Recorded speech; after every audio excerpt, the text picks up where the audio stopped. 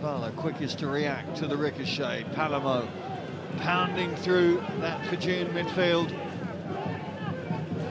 Get quick ball to that far side. Now, can McLean unleash Ngwenya?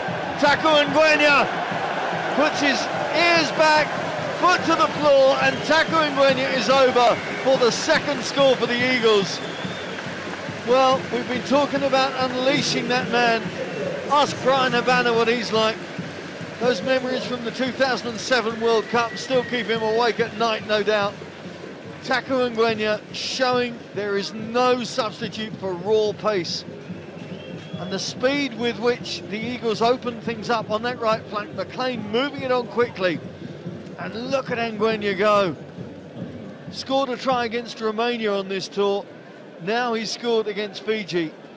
And suddenly this match has gone back into the balance as we look towards the hour mark.